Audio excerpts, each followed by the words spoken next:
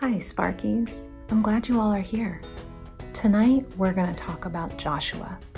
You learned about him last week, about how he and Caleb trusted God to do what he said.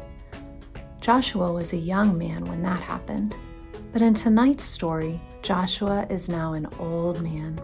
Many years have passed since Joshua trusted God to do what he said, and God did what he promised during those many years. Tonight's story comes from the Bible in the book of Joshua, chapters 23 and 24.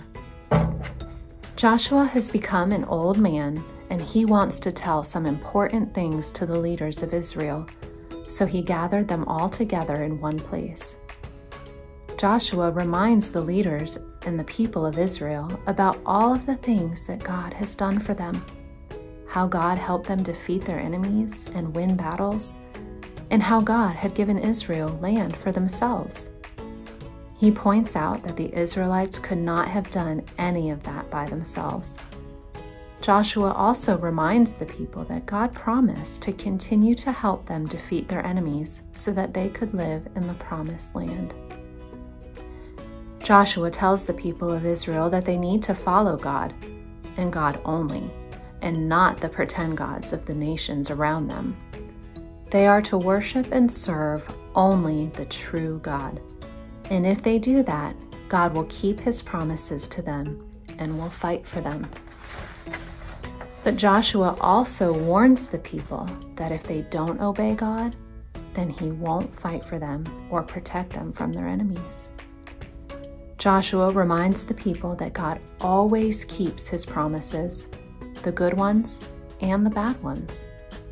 That means that if they obeyed God, he would keep his promise to fight for them. But if they disobeyed God, he would keep his promise not to fight for them. So after hearing everything that Joshua shared with them, the Israelites had two choices. They could live God's way and receive his care and blessing, or they could live their own way and suffer the consequence of that. Through Joshua, God reminded the people of all that he had done for them. And through Joshua, God reminded the people of all he promised to do for them if they obeyed and served only him as the one true God. So Joshua told the people they should choose to serve the one true God.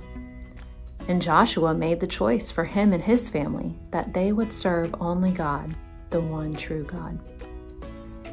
The Israelites listened to what Joshua had told them and decided that they would love, serve, and worship the one true God.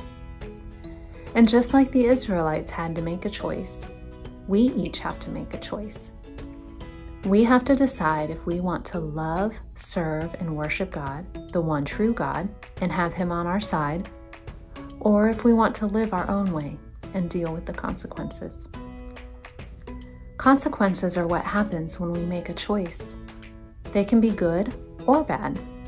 For example, if we choose to be kind to our friends, then maybe they'll play with us. But if we choose to say something mean to our friend, then they probably won't play with us. For us to love, serve, and obey God, we have to learn what He wants us to do. We can learn that from God's Word in the Bible. God wants us to obey His commands because He loves us, and His commands are designed for our benefit. He wants us to love, serve, and worship only Him. If you want to choose to love, serve, and worship and obey God, talk to your parents or one of your leaders about how you can do that.